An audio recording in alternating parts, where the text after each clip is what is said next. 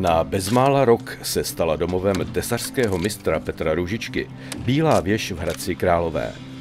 Právě tady jeho tým opravoval staletími poničenou zvonovou stolici osmitunového zvonu Augustín.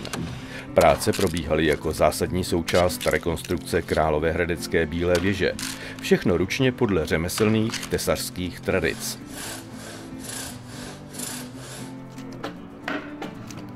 Z Hradce Králové je jen pár kilometrů do Jaroměře. Sem, do dílen střední školy řemeslné, se Petr Ružička přijel podělit o své letité a bohaté zkušenosti z žáky oboru tesař. Ruční opracování trámů jako návrat tesařského řemesla k řemeslným tradicím. Navíc možnost ideálního propojení školní teorie s praxí a zároveň podnikatelskou sférou.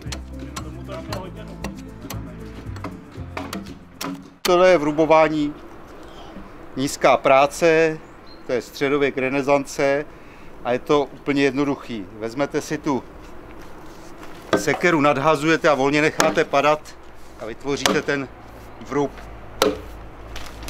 Klidně buďte a rampo.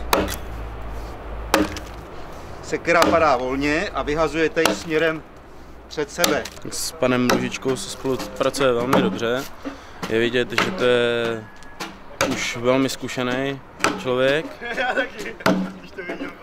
Umí dobře o tom povídat, vysvětlit, co se má dělat, jak, jak vlastně všechno držet, prostě jak se s každým nástrojem má pracovat a tak. No.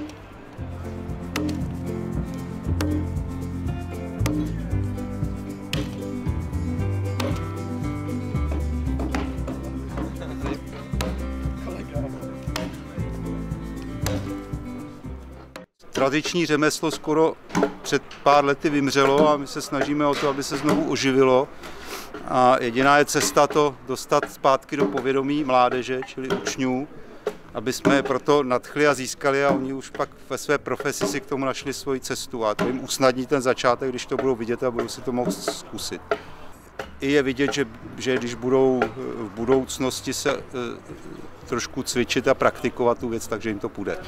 Tyhle ty trámy, to jsou strotní trámy, které nahrazují chybějící stropní trámy v klášteře Klarisek v Českém Krumlově, kde probíhá teď velká eh, radikální oprava.